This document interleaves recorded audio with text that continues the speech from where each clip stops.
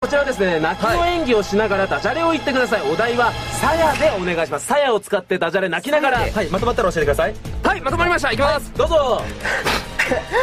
このさやさやの匂いがするんだけどよっぽど臭いんだ、草や。何をしたんだ？何をしたんださやで？さやで何をしたんだ？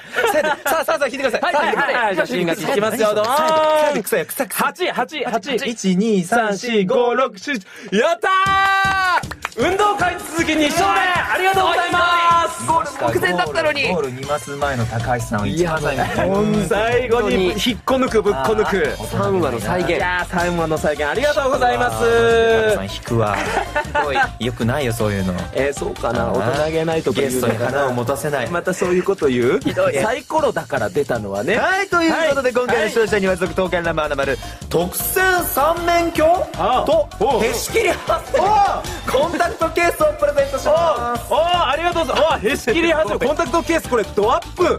目しか見えないコンタクトケースだからか。よくわかんないけど。ありがとうございます。この鏡